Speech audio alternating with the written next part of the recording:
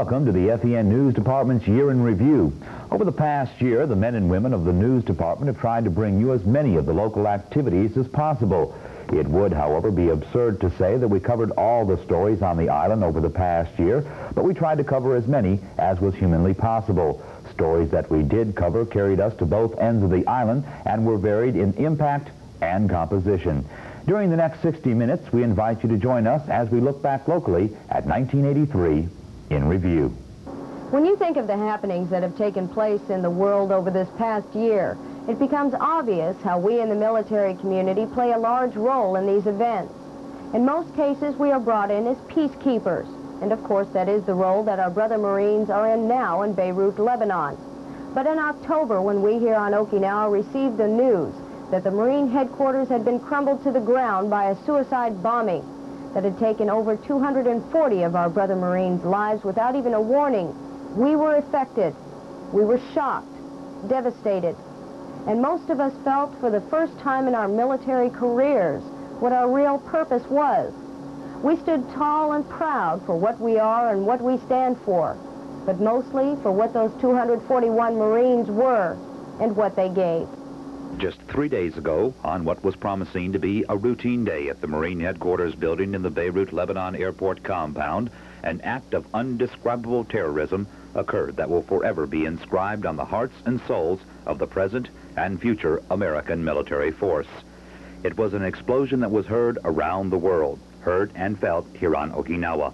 And three days later, while bodies were still being dug out of the rubble, families mourn the loss of their loved ones. America paid homage to those that went without hesitation. And here on Okinawa, brothers and sisters in arms paid a last farewell and renewed their contract in faith in those departed.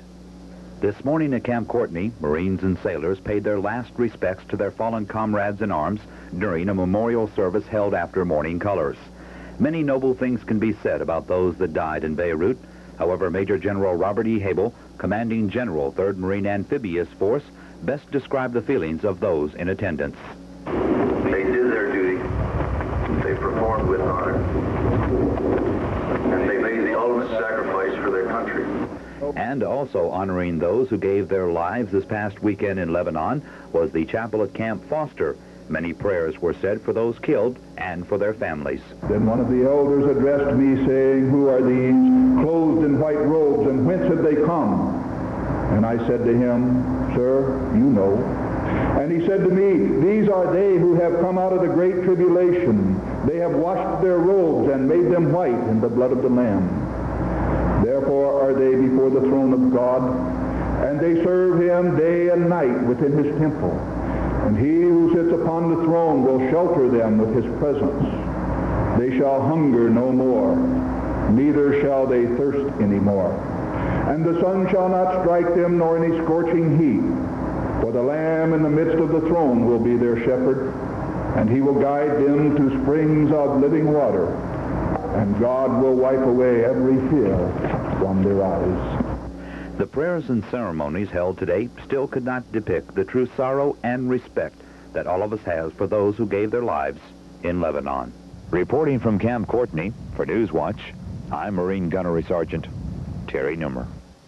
Training for readiness is not something that either the Marine Corps or the Navy is new to, nor should they be.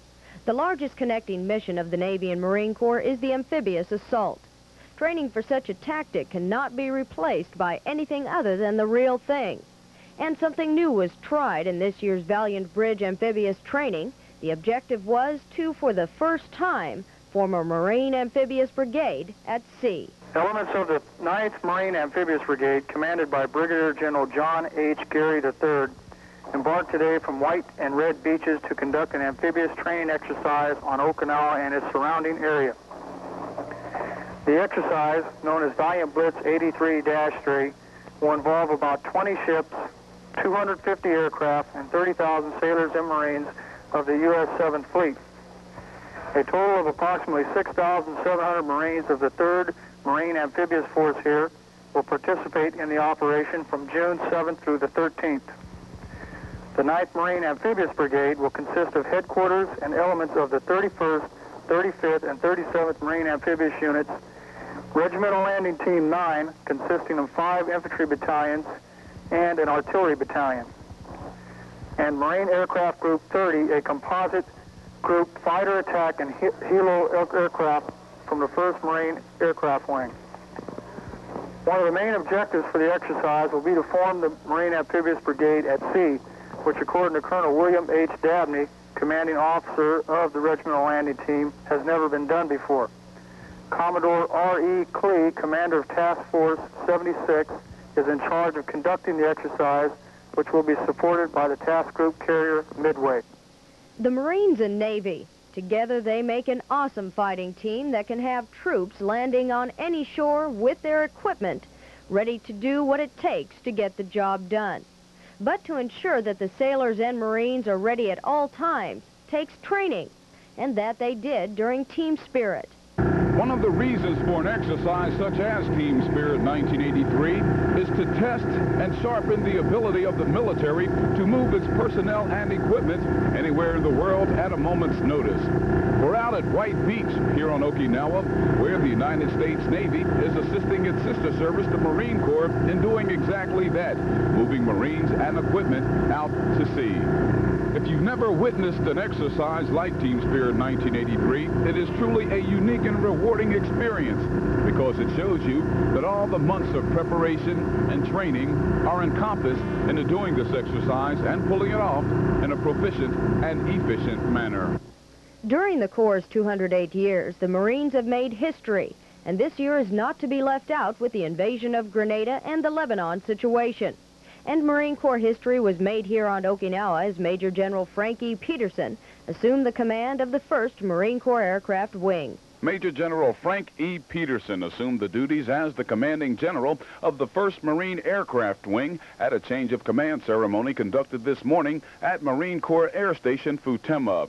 Prior to assuming command today, General Petersen received his second star in ceremonies at the home of Major General Robert Haebel last evening.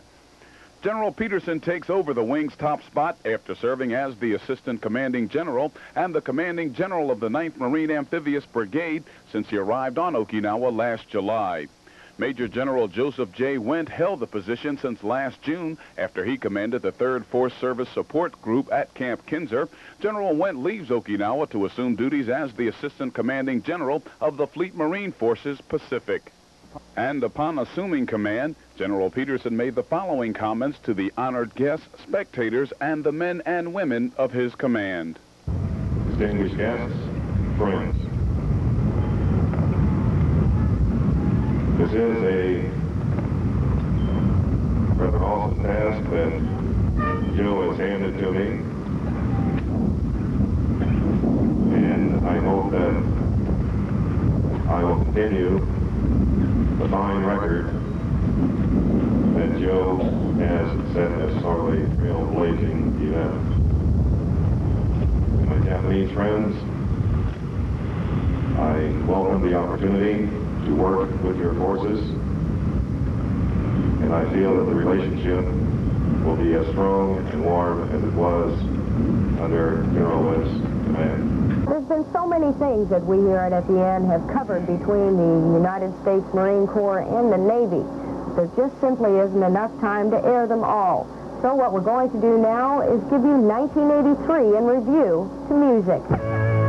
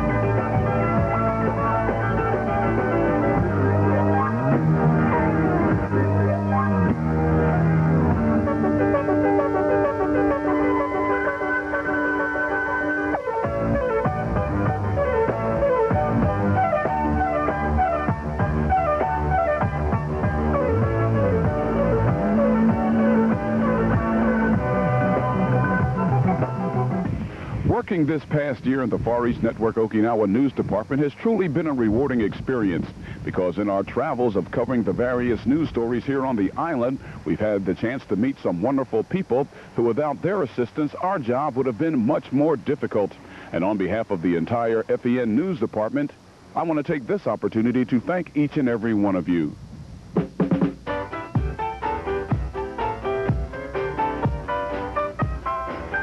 Deciding on the most significant events that took place on Kadena Air Base during 1983 was a difficult task to say the least. With more than 400 news stories to choose from, we picked what we feel were the most significant ones that would highlight the accomplishments of a base that has proven itself to be staffed with the most professional and hardest working military men and women in the Pacific Air Forces.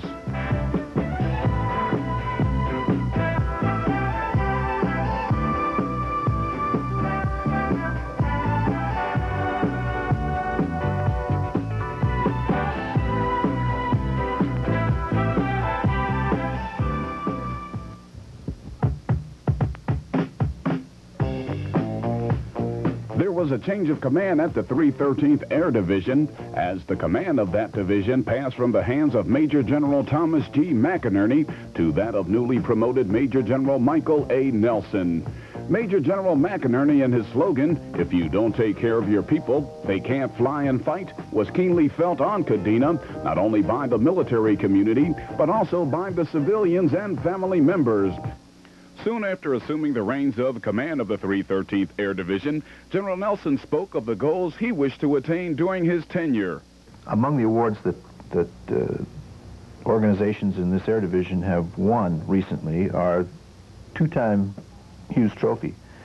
I think most people on the island who've been here very long are aware of that when the 12th won it uh, for 81 and the 44th won it for 82. And now my goal as, as, as is everybody else's around here, I hope, is to get the 67th, our third F-15 squadron, the, uh, the uh, Hughes Trophy this year, making, I think, an unprecedented uh, triple crown for, for the Air Division and the 18th Wing. I think it'd be super. There's no question in my mind the 67th is, uh, is of the quality and the spirit that, that could get it. So we're going to pump hard for that.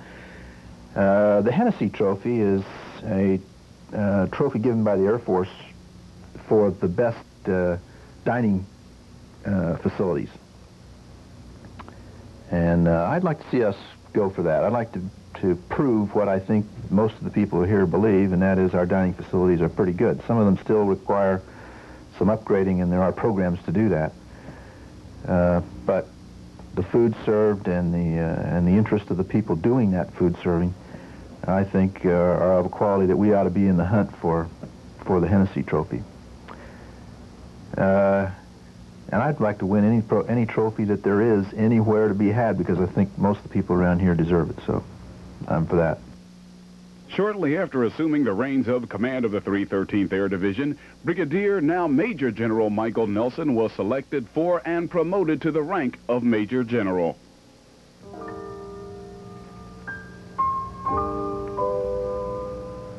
Other change of command ceremonies that took place on Kadena and tenant units attached to the base, such as the 69 90th Electronic Security Group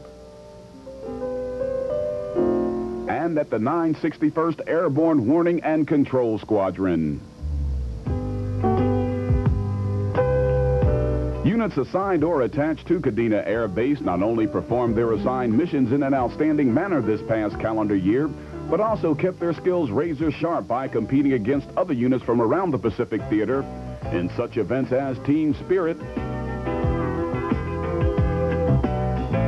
Saber Spirit, and who on Okinawa can ever forget the Shoguns of the 18th Tactical Fighter Wing, commanded by Colonel Philip Drew.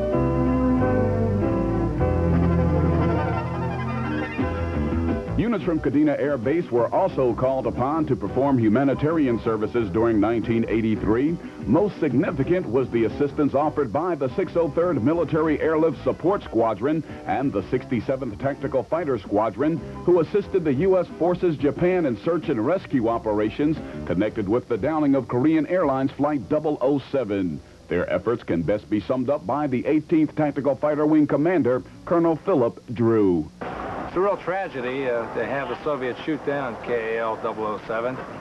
To many Americans at home, it was very uh, unexpected. To those in the military, we understand the Soviets, and it was not an unexpected act on our part. Uh, we were certainly disappointed uh, in what happened and what the Soviets did. It was our, our job to go up there to Misawa, provide uh, any air support that was required for the SAR operation, or the Search and Air Rescue operation. We're very proud to have been part of the uh, Navy Air Force team that uh, did that in a joint operation under the command of General Donnelly, the U.S. Forces Japan commander.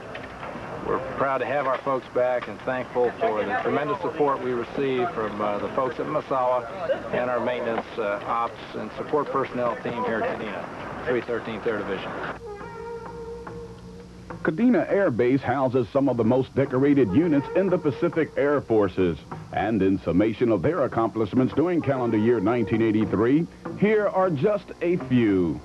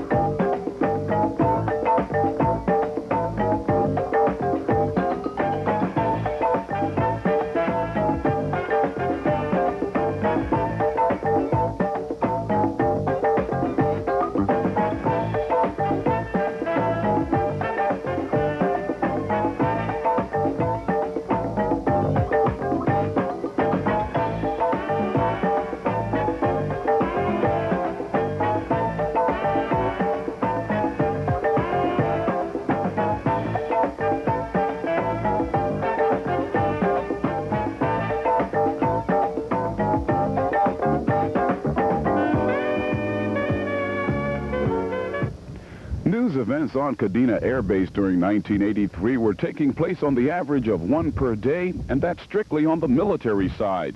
In the civilian communities, the FEN news cameras averaged at least six stories per week. And now, through the eyes of the FEN news cameras, here's a look in retrospect at Kadena Air Base during 1983.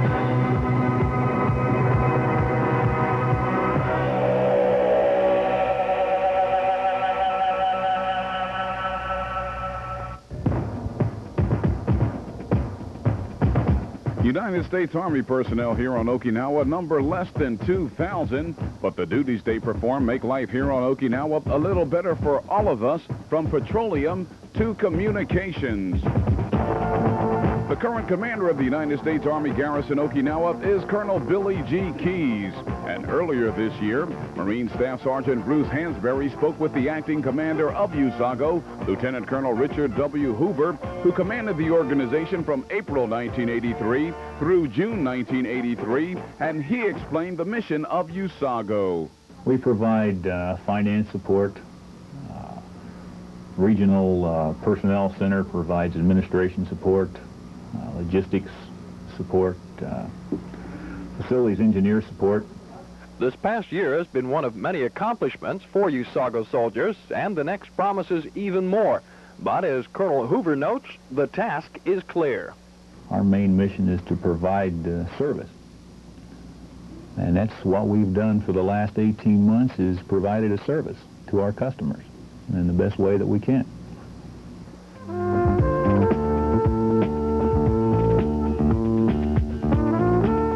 United States Army Communications Command, based at Camp Foster, provides around-the-world communications for military and family members here on Okinawa. And with the massive communications network here on the island, with their professional pride and dedication to duty, they keep the system in peak operating condition, thus enabling us to contact any installation, no matter how remote. A change of command was held there earlier in the year as Lieutenant Colonel Russell K. Pells departed and Lieutenant Colonel Robert L. Ness Jr. assumed the command.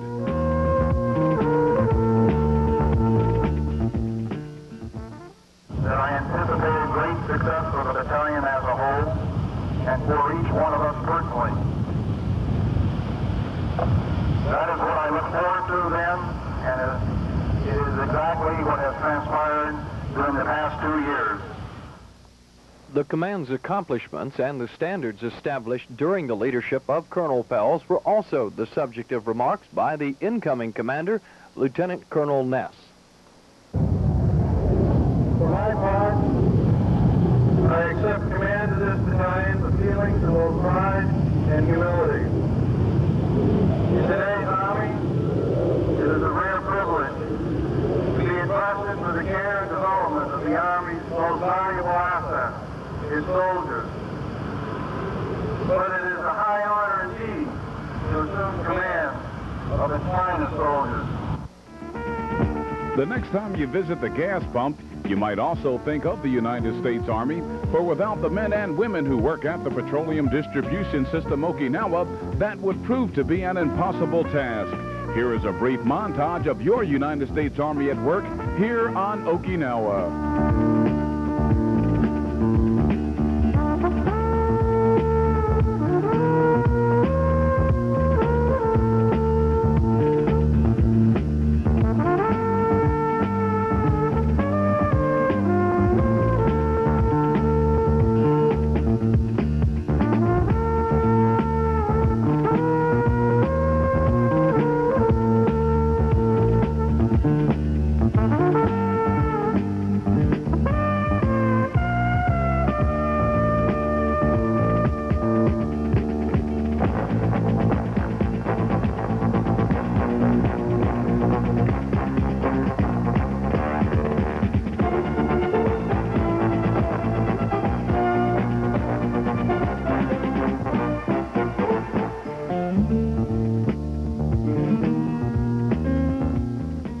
Less military-oriented stories, 1983 contained numerous community events. Staff Sergeant Jim Martin has the rundown.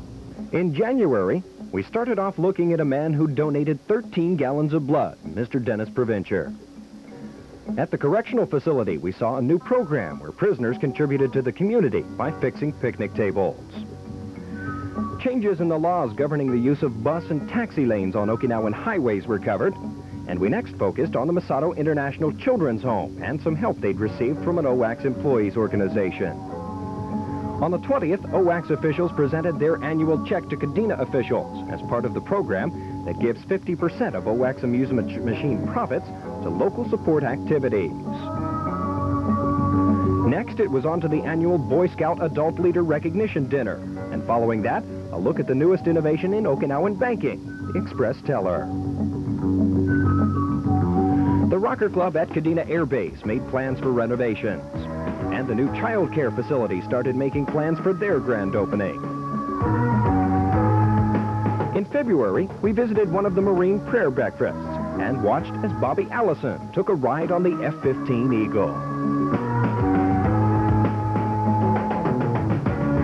General Donnelly joined us for the opening of a new Italian restaurant at Kadena.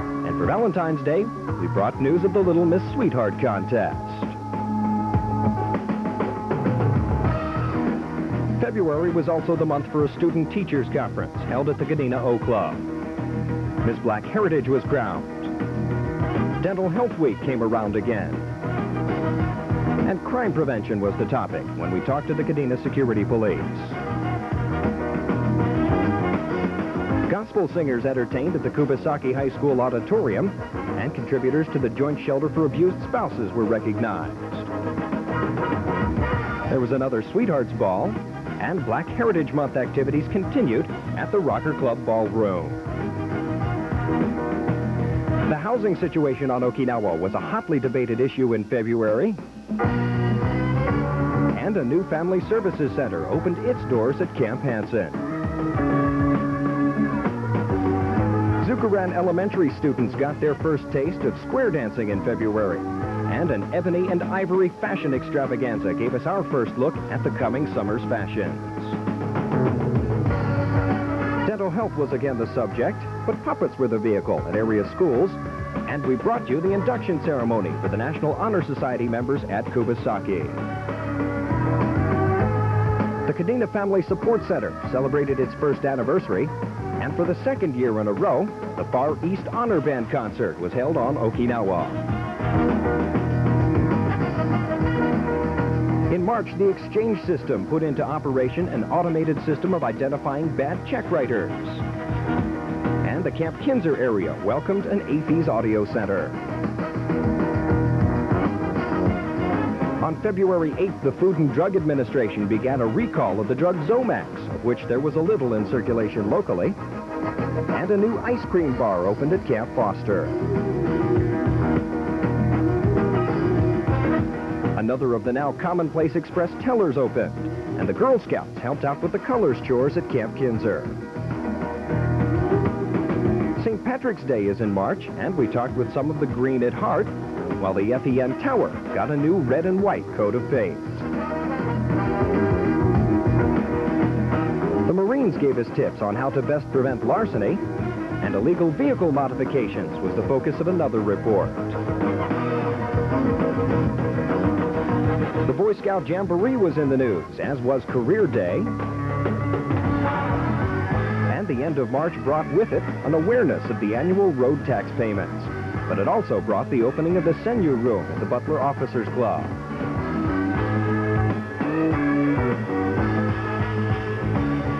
Local efforts to help save the Statue of Liberty caught our eye, but a rate increase of nearly 100% for phone service in base quarters caught us in the wallet.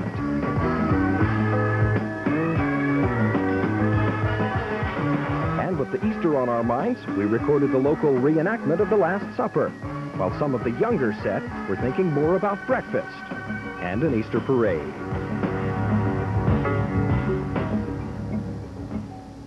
Restrictions on the use of large denomination bills of U.S. currency were lifted in early April, but patronage at the Kadena Marina was limited because of its popularity. 313th Air Division Vice Commander Colonel Richard Hawley detailed the situation. We have a limited number of facilities to support uh, the people here on Kadena. The marina uh, was opened last summer. It has become a very popular attraction for everybody on the island. Uh, and unfortunately, it's become saturated uh, to the point where an awful lot of the people who live in, here on Kadena can't get access to it. Uh, we've had that problem before. We had it with the NCO Club, and some time ago we had to restrict access to the NCO Club for E5s and below from people who don't live here in Kadena. Uh, we've, unfortunately, because of the saturation of the marina, had to take the same action uh, for the marina in order to ensure that the people who uh, we're here to support have access to that facility.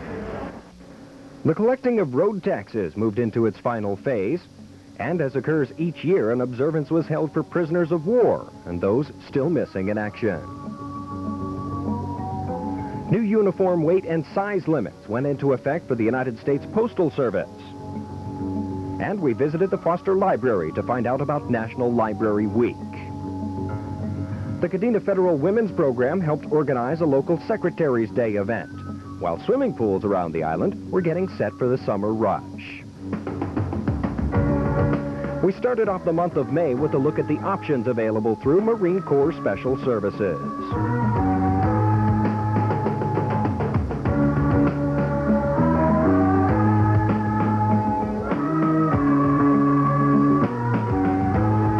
The Makiminato School's International Day was on the schedule next, along with a look at rise in vandalism aboard school buses. Better Speech and Hearing Month brought a number of health experts to the screen, and we also took time out to honor the men and women who went through their efforts to help support the services of the USO. Major General John Phillips of Marine Corps Base said it best for us.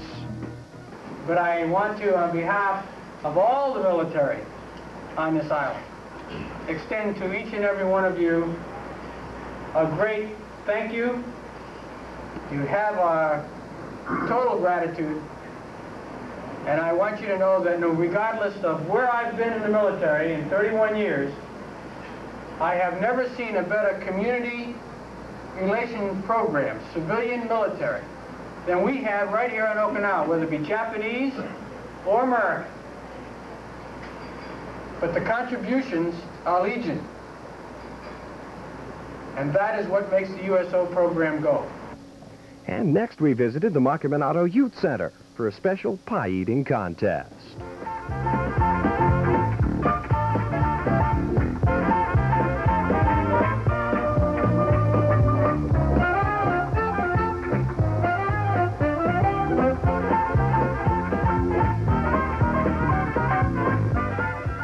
And the very special arts festival drew a lot of attention to the qualities sometimes overlooked in handicapped children. The Seabeast Children's Day activities were also covered by the FEN camera crews in activities oriented towards children of a Amerasian heritage. Some first and fifth graders had an unusual learning experience when they evaluated a message they found in a bottle. On the 20th of May, gifted and talented students turned the tables and honored their teachers and supporters. Meanwhile, another group of students from the Bob Hope Primary School tried their hands at Chinese brush painting and pottery making. Students just seemed to dominate in May with the graduation of Kadena preschoolers and a local production of the musical Oliver. With Memorial Day came observances at local churches, and the start of summer was marked by a bathing suit contest. With June, the FEN News team took an in-depth look at the Status of Forces Agreement. The U.S. Consul General, Edward Featherstone, helped us to understand that agreement. It's a bilateral agreement between Japan and the United States, which governs, uh, really sets forth a set of operating rules governing the status of uh, U.S. military personnel and related personnel stationed in Japan in connection with the security treaty. Uh, you have a lot of problems on, not problems, but a lot of things to consider. For instance, uh, what facilities and areas do we get? What is the status of our people while they're on those facilities? Uh, who takes care of uh, the things that are on the facilities? Uh, how about entry? People entering foreign countries are required to have visas and so forth. What about people under the SOFA? Uh, customs, taxes, are they subject? Criminal jurisdiction, an obvious uh, area for, you know, very complicated area toll landing fees for aircraft. Uh, our aircraft and ships are exempt, of course, but not all others coming into Japan are not. Uh, procurement. What is the status of things like our post offices, our clubs, PXs? What about claims against the United States? All these things are governed in the SOFA. And the, the, it's very complicated, and the need for an agreed way to handle these things has uh, resulted in uh, this document. Confidence in our local military health care facilities got a boost in June with a vote of confidence from the Joint Commission for Accreditation of Hospitals. Navy Captain Joseph Smith was glad to be able to pass that on. There is absolutely no difference between the accreditation we have received and the standards to which we had to conform than that which is given to Massachusetts uh, General, Mass General, or Johns Hopkins, or any of the noteworthy institutions in the civilian sector in the United States. There is no exception, no modification, and no variance made for the military. The housing office for all the services, which is run by the Air Force locally, got ready to move in June. And with a lot more people in the water, it took time to look at some dangerous sea life. At the Schilling Rec Center, we witnessed a recital. But because of a jump in motorcycle fatalities, we again focused on the Okinawa traffic picture. The Zukeran Elementary School was the site of a circus, while some of the older island residents enjoyed a string of appearances by entertainer Barbara Fairchild. We also got a few laughs from the lovable Lush, Foster Brooks. The Crow's Nest Club hosted a variety program, and the Boy Scouts headed for summer camp to practice some of their outdoor skills.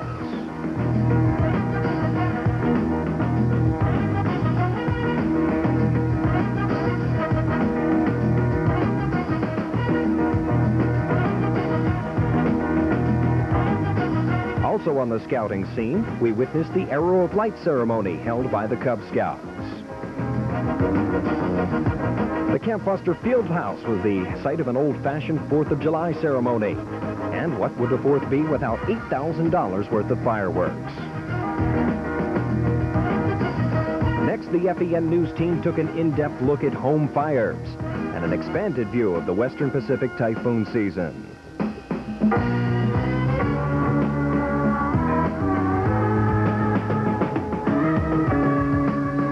We glanced at a Sunday afternoon team disco at Kadena and the Cub Scout equivalent of summer camp called the Day Camp.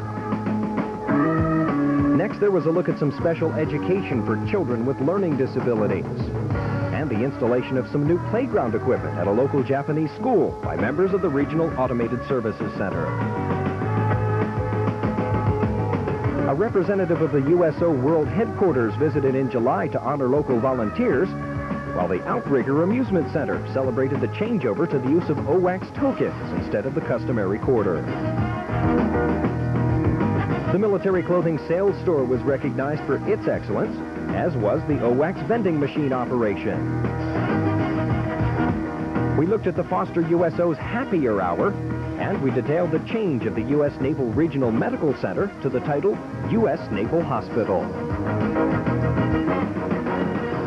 In August, the Vacation Bible School adjourned for the summer, and the Federal Women's Program hosted a seminar on stress. Typhoon Abby paid us a visit and found the island well prepared for her possible wrath. Vehicle registration for SOFA status personnel was the subject of another in-depth report, while a hospital doctor caught our eye after delivering a record 12 babies in 22 hours. The first Golden Baby Award. And it's presented to Dr. Jamie Carter, U.S. Naval Hospital, Okinawa, Japan, for a delivery period from 0729 July 1983 until 0730 July 1983. 12 deliveries, including one cesarean section. On behalf of all the children you brought into the world, their parents, and certainly for augmenting the forces of the Naval Reserves, I congratulate you. At Camp Kinser, we sat in on a religious lay leaders workshop. And the Kadena USO was the site of the baby races.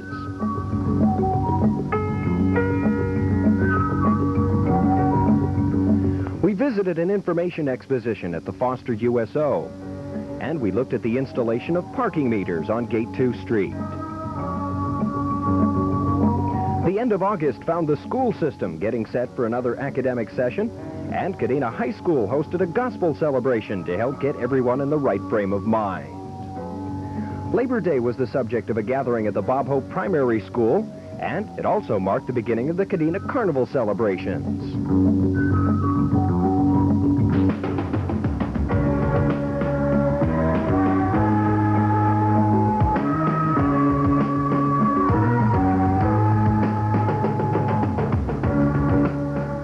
Preschool held an open house to celebrate the installation of a new playground, and a fall workshop was held at Kadena for local religious instructors. But because he's busy on Christmas, Santa arrived early in September to kick off the local holiday shopping season, while the Marine Officers' Wives Club spiced up their monthly meeting with a kimono show. The Joint Services Spouse Abuse Shelter celebrated its first year of service, and Hispanic Heritage Week was capped off with a Miss Hispanic contest.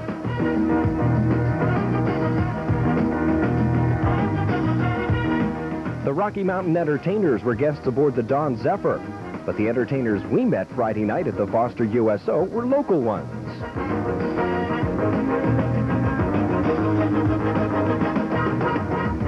Typhoon Forrest descended on the island in late September, bringing wind and rain and taking trees and roofs for unplanned journeys. With the new fiscal year came an unexpected drop in the price we pay for gasoline. I think now we can be like they are in the States. I don't know what they're charging the States $3.39 a gallon. The officers for the Kubasaki student body were installed, but not without some politicking. And Fire Prevention Week swung into high gear. Local contributions to the Red Cross were presented, while AAFES put together a Sights and Sounds Save-a-thon that was worth nearly $5 million.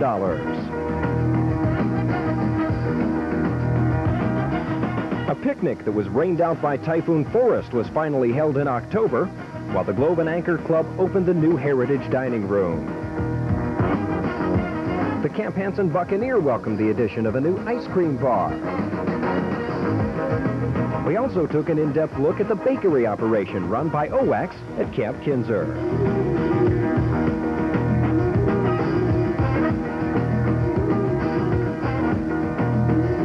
A $48,000 expansion project was completed at the Awase Meadows restaurant, and Halloween brought along an assortment of spooks and witches.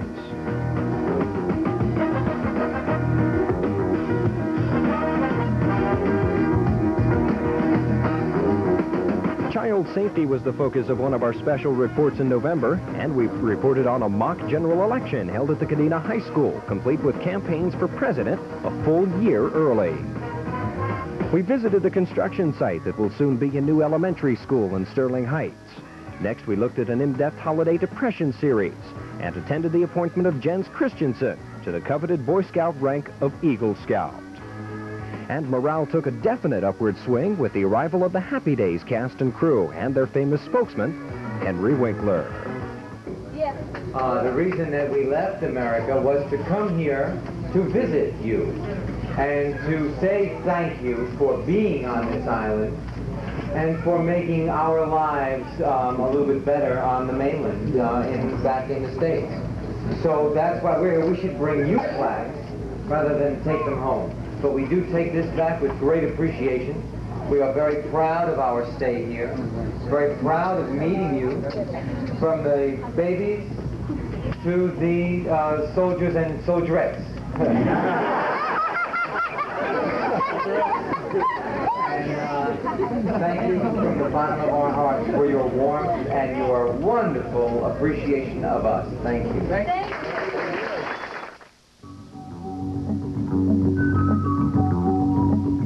We brought you up to date on the best tactics for commissary shopping in November.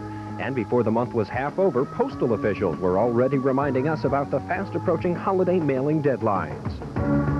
We again visited the newly completed Senu room at the Butler Officers Club. And we visited the grand opening of the Child Care Center at Kadena Air Base. AAFES held a holiday fashion show at the Kadena Exchange. Meanwhile, out at Camp Shields, the kitchen facilities expansion project had been completed, and we were there.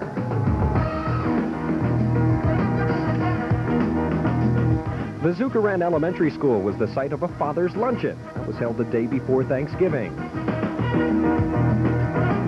The USO professional staff took time out to honor the more than 100 volunteers that helped make the local operation such a success, while the recording artists, the Shy Lights, made a swing across the island.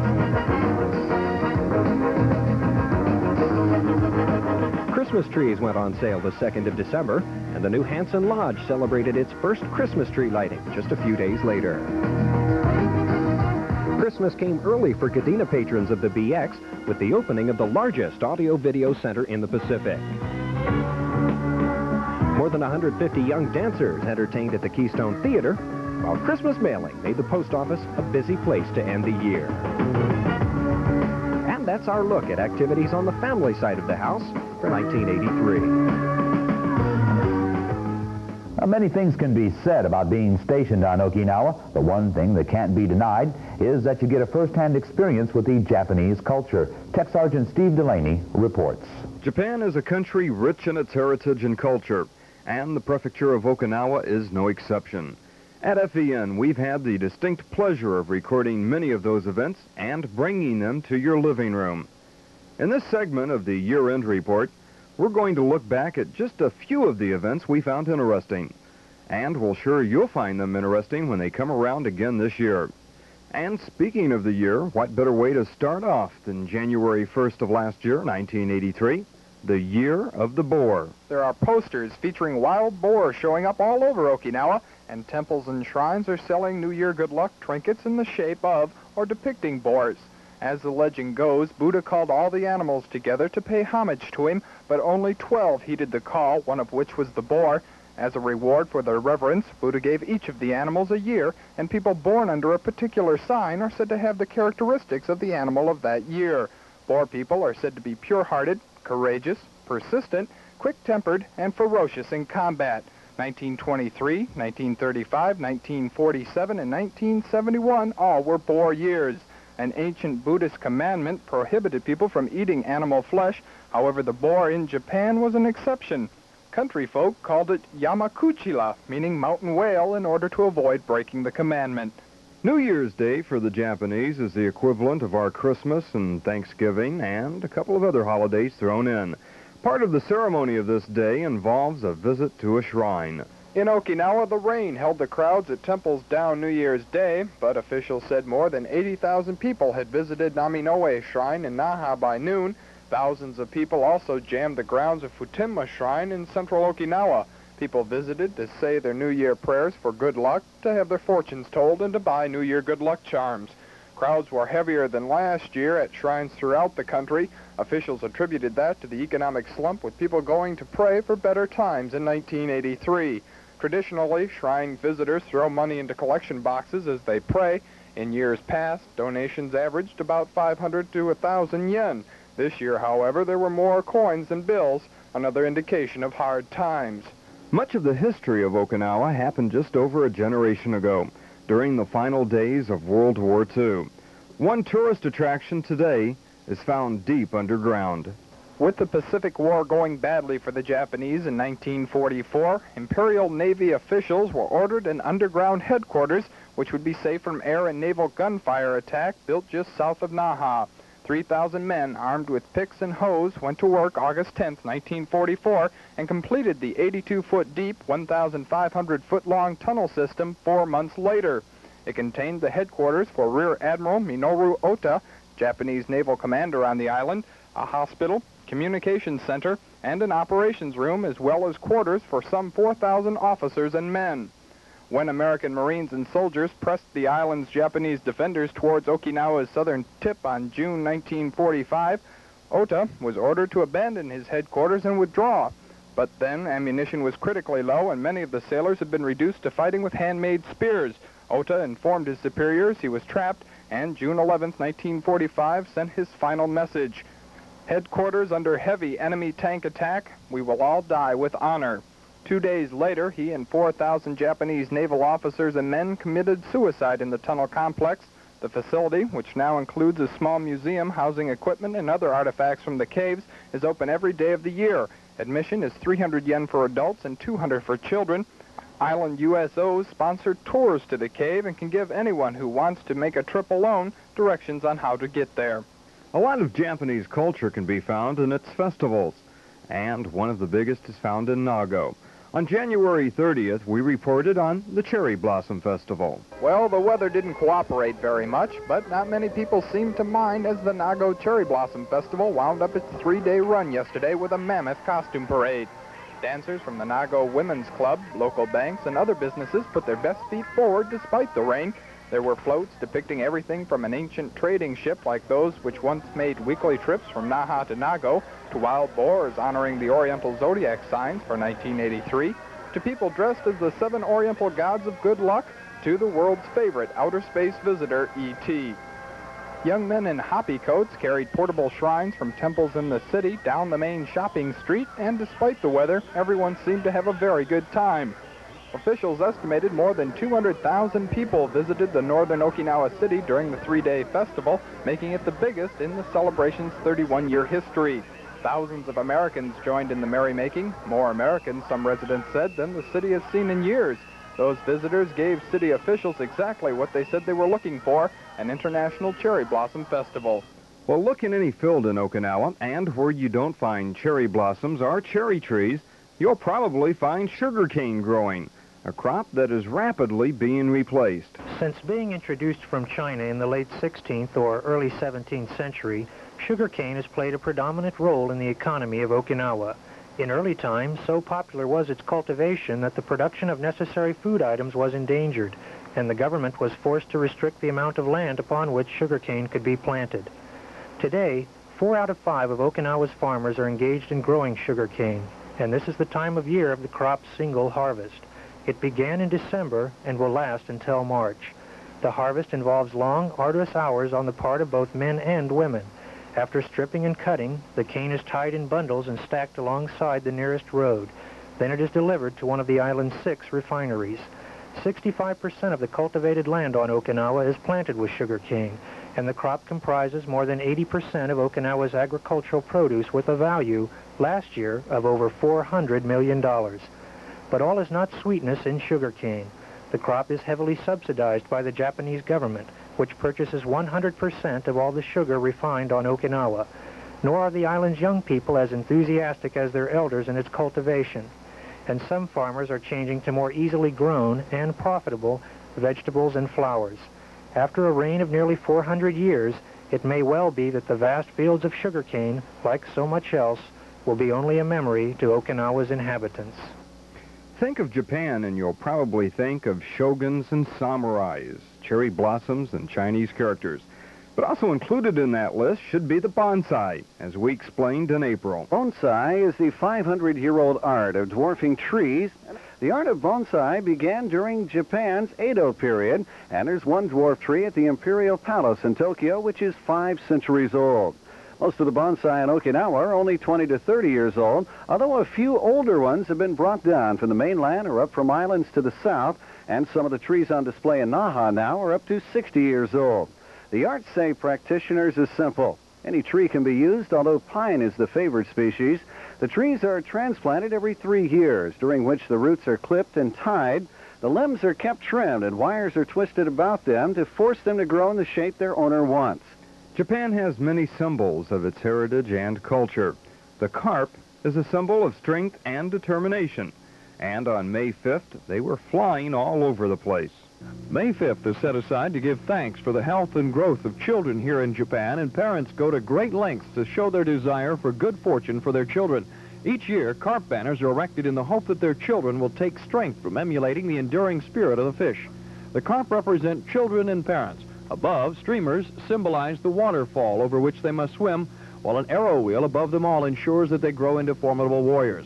Kodomo no Hi, Children's Day, is of ancient Chinese origin, and like many of the traditions celebrated here on Okinawa, reflect the desire for man to interact in balance with nature. And finally, what happens when today meets tomorrow? Does the present yield to the past or progress on to the future? That was a problem that Kadena Air Base and Japanese government officials puzzled over in August. In a remote corner of one of the largest and busiest American military installations overseas, Kadena Air Base, 120 tombs that have been hidden by overgrown trees and other plant life were discovered, and they were found to contain the remains of a clan of aristocrats from Shuri who fell from grace more than 250 years ago. Mr. Nakamura stated that the tombs would probably have remained hidden had it not been for plans to construct family housing in the area, scheduled to begin construction sometime in 1985. When the government of Japan became aware of the construction plans, they asked Air Force officials if they could look at the tombs first. The Air Force agreed, and the excavation project began in earnest in 1972. The historic yield from the artifacts found in the area of the tombs has been varied. Several coins were found from the late Edo period, 1603 through 1868, and they dated the second layer of the tomb as the early 1900s by the appearance of the African mai mai, a snail which is found all over Okinawa today.